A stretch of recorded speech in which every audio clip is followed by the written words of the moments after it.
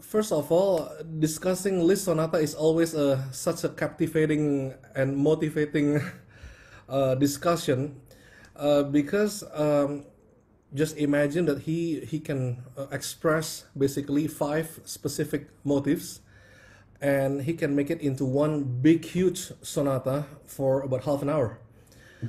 Uh, maybe you ask like where did he get the idea to write that kind of uh, composition technique. Well obviously he was not the first person to do that because actually if we trace back uh, into the music history in the western music history actually uh, many composers from uh, different historical eras had done in the similar ways of doing this ya jadi basically Liszt bukan yang pertama untuk melakukan structural coherence. Um, mungkin I can give I can start with the analogy ya uh, as I put in number one as in writing a well written paper the author must identify the subject of the paper as early as possible, right? Jadi penulis mesti segera mengidentifikasi tema dari paper itu. B, the author explains the particular orientation or goal or purpose of the paper.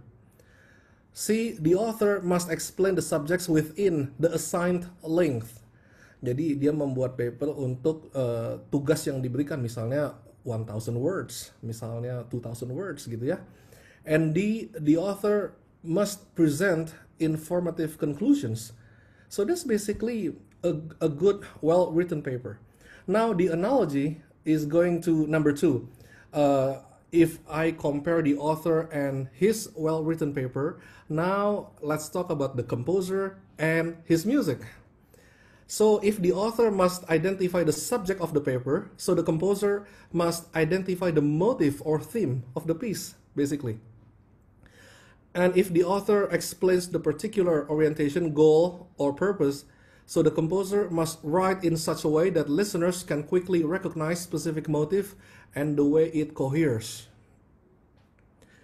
If the author must explain the subjects within the assigned length, so it means that the composer must write his composition with syntactic form. It has to be well thought, organized, structural, clear in direction, and organic cohesive.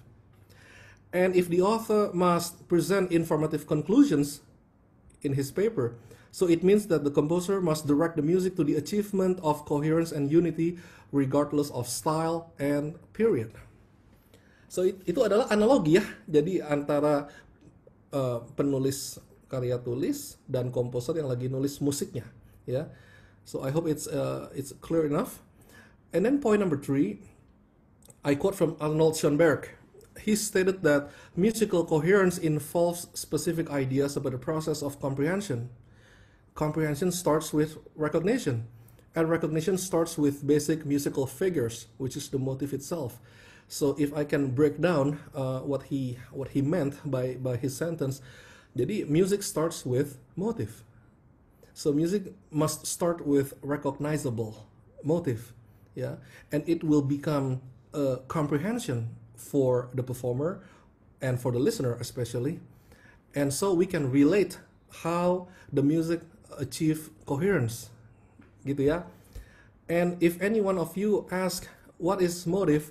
Motive is the smallest part of a piece in which despite any change and variation motive is still recognizable throughout the entire piece. Motive consists of intervals and rhythmic patterns combine to produce a shape or contour that is easily remembered or memorized. These motifs are most likely introduced at the beginning of a piece. Yeah, nanti uh, as we will uh, see in Liszt Sonata that uh, he already introduced four of the main materials in the in the very beginning, basically, and then uh, one more material in the middle. Uh, kalau ada yang ikut webinar saya terakhir mengenai uh, Beethoven Opus 110. Uh, that's what I also explained that the whole piece, about 17 minutes long, is all basically made from three main materials. Uh, the number one is the interval four and three. Number two is the descending line pattern, and number three is the uh, repeating figure. And just by using those three materials, and suddenly Beethoven wrote such a great piece of 17 minutes long. Yeah. Um, historically, composers have expressed such coherence in music throughout historical era. Jadi uh, kalau kita ngomong grammar in music ya, in in Western music, itu kan basically we can break down into three different musical grammar. Yang pertama adalah modal music, and number two is tonal music, and number three is post-tonal, whatever it is, ya kan? Post-tonal. Nah, in modal music, bagaimana composer itu uh, expressed coherence by reciting tones. Reciting tones itu artinya uh, note yang paling sering keluar ya uh, in a piece ya. Lalu range, finalis, the last note, and intervallic relationships as the tools to unify music, written in a highly sectional structure. That's typical modal music in the in the medieval and Renaissance. And in tonal music, usually composers wrote a motif or a theme or specific number of motifs or themes, and then he developed or modified or transformed those motifs or themes to achieve unity in music. Yeah, written in specific syntactic structure whether it's in sonata form, binary, ternary, or rondo. And in the most extreme writing of post-tonal music, composers like Arnold Schoenberg established unit of music of 12 different pitches that can be varied in many ways to provide the overall structure. So we can see composers from whatever historical eras, basically they have one ultimate goal in music composition, basically just to, to get the uh, unity uh, to to be organic for the music to be organic to be cohesive. Uh, this is more into detail ya nah, jadi kalau misalnya ada yang mau lebih tahu uh, more details bagaimana composers throughout eras uh, basically express their uh, writing technique to achieve unity. Misalnya in medieval era itu ada satu teknik uh, called isorhythm. Ya isorhythm itu artinya composer wrote specific uh, melody and rhythm that he will repeat throughout the whole piece. Ya itu in medieval music. Jadi akhirnya achieving unity. Lalu in renaissance misalnya ada composition technique uh, called cyclic or parody or moto ya in which uh, composer uh, use that in the genre cyclic mass ya ada contoh nanti di bawah. So it means that uh, one fixed melody we call it as cantus firmus one fixed melody basically is used for every single movement of the cyclic mass. Jadi inside cyclic mass itu ada Kyrie, Gloria, Credo, Sanctus, Agnus Dei. All these basically use the same fixed melody ya. Maka dari itu again achieve unity. Lalu in baroque for example like Bach he used the composition technique in music theory. It's called Vorspinnung in German basically it means spin out yeah in which that you know baroque composer will write one specific theme or subject or motive and then uh, he will basically develop or we call it as a spin out. He will spin out that theme into various ways whether it's a repetition or imitation or sequence or augmentation diminution yeah all those uh, terminologies and then mid to late 18th century composers achieve unity in, in, in their music by writing sonata structure basically because we have exposition, development, and recapitulation, and the materials must always uh, exist in those places, right? And especially Haydn introduced uh, what what we today we call it as a monothematic idea. For example, in uh, of course the most famous one maybe in the Sonata C, ma C major, Hoboken 16 number 50, yeah, in which the whole first movement is basically made from one material and then in the 19th century, composers achieve unity by means of thematic transformation. That's what Pa Johannes will discuss more. And then uh, idée fixe. Idée is a term by Berlioz that he used in the Symphony Fantastique. And another way of doing uh, unity in 19th century is leitmotif used by Richard Wagner in Tristan und Isolde opera ya. Lalu um, basically from 1883 the death of Wagner to the Second World War uh, how composers achieve unity is basically when Schoenberg uh, especially introduced the 12 tone system. Ada contohnya nanti di bawah. And then how about post-war? Bagaimana composer achieve unity? By writing, for example, minimalism, and then pitch centricity. For example, what uh, how how Ligeti and Messiaen wrote their music, for example, ya. Nah, uh, sampai situ dulu. Uh, ada pertanyaan dulu nggak sebelum I give some examples? Kalau silakan boleh di chat kali ya Pak Yohanes ya. Di di chat boxnya kali ya kalau ada pertanyaan siapa pun ya. Now, I give you three examples representing each uh, uh, apa each musical grammar ya. So, musical example in modal music and then musical example in tonal music and musical example in post tonal. So, let's look at the first example.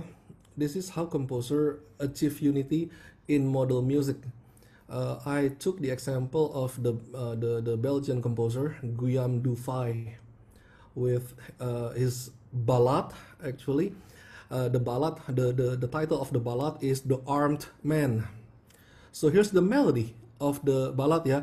Tam pa ti tam pam pan ta ta ta ta da ti dam pam. So that's that's basically the the the, the theme. And now Dufay use this theme basically to unify his cyclic mass atau misa yang judulnya adalah The Armed Man ya. Jadi misa Home Arme basically. So please remember this melody. Please remember this melody and let's look at the Kyrie. So this is the Kyrie. We can see in the tenor in the tenor section Look at this melody. Sol, sol, do, do, te, la, sol. So basically that's the same melody with uh, the, the ballad. And then continue. Da, da, dum, da, da, da, da, ti, dum, pam. So it's basically the same the same melody with the ballad. This is Kyrie and I don't have to show you for the Gloria Credo Sanctus, you can see yourself. Now another example is the Agnus Dei. The same idea, the Agnus Dei. Look at this and look at the tenor section. How about this? Agnus Dei, and then qui, and tollis. Nah, the same melody. Da da da da, ti da, tam, dan lanjutannya. Jadi ini basically you can see that the melody in the ballad entitled The Armed Man, the melody basically is used for uh, his his other music, uh, the Misa Armed Man, yeah, the Mass Armed Man, and the Kyrie Gloria Credo Sanctus Agnus Dei basically share the same uh, motif like this. So it's pretty clear, supposedly.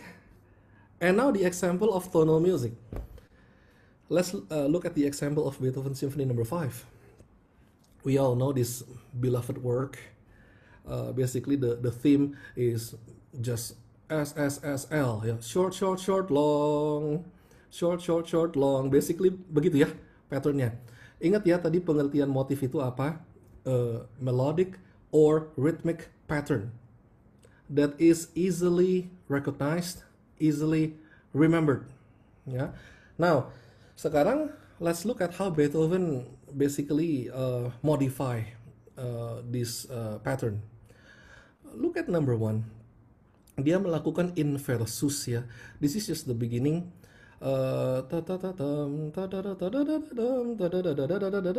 lalu ini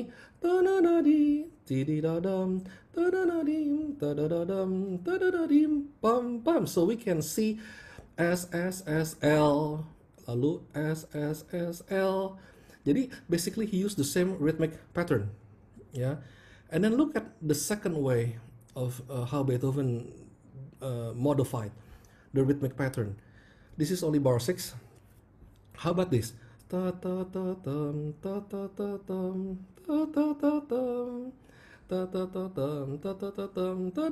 So basically it's the same pattern. Short, short, short, long, short, short, short, long, short, short, short, long. Basically it's just like the, the main idea. And then how about the second theme of that symphony? Ta ta ta tam pam pam. It's just like the same idea. Short, short, short, long. Ta di. Lalu ti di da di da. And look at the cello. Short, short, short, long. Short, short, short, long. Can you imagine that? Mungkin uh, kalau dilihat sekelebatan aja, sepertinya it's just two different ideas. Ya. Tapi yang sebetulnya it's the same materials. And later we will see uh, bagaimana Liszt in his sonata uh, advanced this kind of writing technique. And then look at point number four, how Beethoven modified the same rhythmic pattern in the second movement. The pa pam pam pam pam. So the the short short short long, the the short short short long. It's basically the same idea with the beginning. How about the third movement? Point number five short, short, short, long, short, short, short, long, short, short, short, long, short, short, short, long, basically. The same rhythmic pattern. How about the fourth movement? Uh, second theme A, because uh, Beethoven wrote two second themes. How about this? Uh, short, short, short, long, short, short, short, long, short, short, short, long. The same idea again. And then, still in the fourth movement, second theme B, dirty, short, short, short, long. Dirty, short, short, short, long. So we can see how genius Beethoven used the very economic materials, the same rhythmic pattern, the same rhythmic understanding, basically, and how he modified that same pattern into the whole four movements. Can you imagine just using four notes? One, two, three, four. And it becomes a half an hour great symphony. Yeah. Now, uh, the third example, the last one, is maybe the, the most extreme one. uh, di sini ada yang udah ada yang udah pernah dapet apa atau belajar teori 12 tone method belum atau serialism. Kalau belum, I will try to explain as concise as I can. Jadi uh, ini saya ambil dari Schoenberg uh, piano suite opus 25 uh, di mana ada enam nomor ya uh, di dalam itu judulnya suite jadi isinya juga sama yang kita expect seperti suite in Bach jadi ada prelude ada ada ada jig ada minuet begitu ya. Tapi bunyinya of course doesn't sound like Bach. Nah um, yang terjadi di suite opus 25 ini adalah idenya begini. The 12 tone method itu artinya composer melakukan 12 chromatic pitches in one octave in the equal manner gitu ya kalau misalnya di dunia tonal di grammar music tonal itu kan dalam satu oktav berarti kan ada yang diatonic istilahnya lalu ada yang chromatic. Ada seven diatonic notes ada five chromatic notes gitu ya. Jadi ada hierarchy. Nah tapi dalam uh, dalam 12 tone method dalam serialism basically 12 chromatic notes in one octave is used in the equal way. Nah, jadi kita kalau mau lihat lagu Schoenberg Opus 25 ini kita harus melihat dulu apa aja the first 12 notes yang ada gitu ya. Nah, mungkin saya bisa kasih lihat ini dulu. Nah, ini this is the beginning music. Kita bisa lihat the, the first 12 notes adalah di tangan kanan ya. Mi, mi, fa, sol, D flat, G flat, E flat, A flat, Re, Ti, Do, La, Te, Te, Te. Nah, ini basically ada the first 12 notes. Jadi kita tulis dulu, the first 12 notes adalah Mi, Fa, Sol, D flat, G flat, E flat, A flat, D, B, C, A, B flat. Itu kita sebut sebagai P0. P adalah singkatan dari prime, gitu ya. Nah, Lalu setelah ini kita lakukan scale-nya ini, ini di scale dalam tanda kutip ya, we call it as a set scale. Nah, lalu yang berikutnya kita udah punya P0, yang harus kita lakukan adalah I0. Ini I0, I0 itu adalah inversion, inversion zero ya. Nah, kan tadi kan udah dibilangin ini metode 12 note ya. Jadi apa pun jumlahnya mesti uh, 12 gitu ya. Kalau misalnya ini 0 ya berarti ini juga 0. Kalau misalnya ini satu, di sini satu berarti di sini harus 11. Kalau ini 3, di sini harus 9. Kalau ini 9 berarti di sini harus 3. Ini 2, ini harus 10 dan seterusnya dan seterusnya. So, setelah kita isi tabel ini we call it as matrix. Nah, sekarang kita masuk ke lagunya. Nah, jadi bagaimana Schoenberg mencapai unity dalam uh, Opus 25 ini? Basically dia mencip dia menggunakan 6 different set scales. Gini ya. Dia menggunakan P0, prime 0 ya, lalu prime 6. Jadi prime 6 itu adalah yang paling bawah nih. Ini prime 6 Lalu he use R6, R6 itu artinya retrograde, artinya mundur ya. Jadi kalau P6 tadi kan jalannya dari kiri ke kanan, kalau R6 itu dari kanan ke kiri jalannya gitu ya. Lalu abis itu I0, ini semua nih. Lalu I6, berarti ada di sini semua. Lalu RI6, berarti kita bacanya dari bawah ini ke atas. Nah, dia basically menggunakan uh, set scale ini ya. Nah kita bisa lihat contohnya kalau di prelude ini berarti 12 note pertama ini ya jelas P0 nggak mungkin enggak because that's the beginning 12 notes. Nah kalau misalnya kita lihat di tangan kirinya ini kita kita lihat note-nya ya ada B flat, ada C flat, ada D flat, ada G natural. So it means note-note ini ada di P6 the first four notes. P6 the first four notes. B flat B D flat G. Nah here we go. Okay, now we have P6 lalu bagian yang berikutnya di bassnya ini kita punya note ada F, F sharp, E flat, dan E. Berarti dia memakai P6 note yang ke-9 sampai ke-12 misalnya P6 lalu note ke-9 sampai ke-12 berarti ada F ada G flat, ada E flat, ada E sesuai dengan apa yang dia tulis. Nah, dan seterusnya dan seterusnya. And look at the gavotte now. For example, kelihatannya emang lagu yang berbeda ya, kelihatannya. Tapi if you look carefully, what happened itu kan notnya adalah Mi depannya ya, Fa, Sol, D flat, G flat, E flat, A flat, D which is basically the same idea dengan prelude-nya, the first eight notes. Cuman ada di tekstur di range yang berbeda aja. Makanya ini juga disebut sebagai P0 tapi hanya menggunakan note yang pertama sampai note yang ke-8. Lalu berikutnya ini adalah I6, ini adalah P0, I6. The same the same set dengan prelude. Juga dengan jignya di mana jignya ini dia pakai P0, I6 dan I0. Nah, jadi pengertiannya even lagu kayak begini aja yang kedengarannya mungkin agak-agak gimana gitu ya. Cuman this kind of music actually bisa dibilang mungkin lebih kohesif daripada apa pun gitu loh. gitu ya. Kalau misalnya kita lihat Beethoven, excuse me, kalau kita lihat di Beethoven di Symphony Number no. 5, he still modified he modified the rhythm, he modified the the character. Tapi kalau in this kind of music, basically Schoenberg doesn't modify anything. He just basically use the same idea gitu loh. Walaupun kalau kita lihat notnya, basically it's it's kinda apa namanya kayak kayak abstrak gitu ya. Uh, kalau saya boleh quote ada satu ngomongan teman saya dia pernah bilang bahwa lagu kayak begini very satisfying uh, for the eye but maybe not really satisfying for the ear gitu